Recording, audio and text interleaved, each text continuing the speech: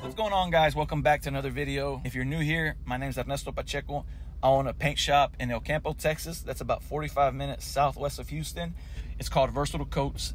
I do anything from small collision repairs to light restoration work, some custom painting, bed liners, and even some industrial painting as well. I'll leave the links down below that'll take you to some of my previous work. I like to document all the projects that come through my shop just so I can gauge my progress in the industry. All right, so let's dive into this project. This is a 2022 Toyota Camry that came in with some damage to the passenger side, as well as some dents on the driver's side rear door. After evaluating the damage, I decided to go ahead and replace the front passenger side fender with an aftermarket fender, and I replaced the driver's side rear door with a used door.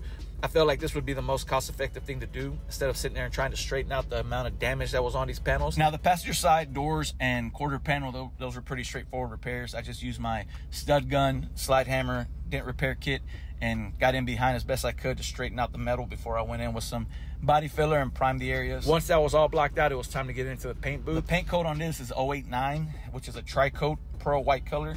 Tri-coat basically means that there's a, another um, layer of, of coating that goes in between the base coat and the clear coat.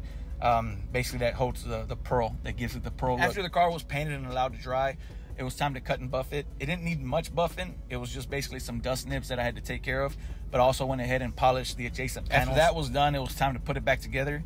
Now this part is very important because you got to be very careful and take your time to make sure you don't damage anything when you're putting it back together and also to make sure everything goes back the same way it was when you took it apart. So after it was put together, it was time to give this thing a cleanup. Uh, I blew out the inside, vacuum it, wipe all the areas down, basically gave it a nice little detail before the customer came and picked it up.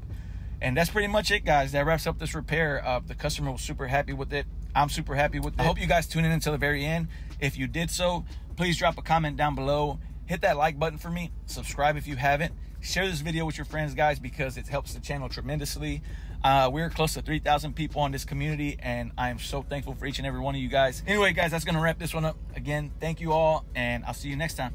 Later.